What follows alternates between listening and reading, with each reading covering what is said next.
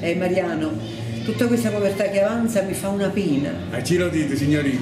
Mi farei qualsiasi cosa pur di aiutarli, è vero, no, Emma? Mariano, ma voi veramente vi privereste di qualsiasi cosa? Veramente?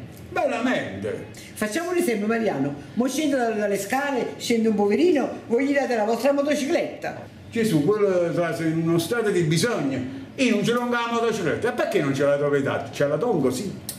E se vi chiedesse l'automobile? E se ti chiedesse l'automobile?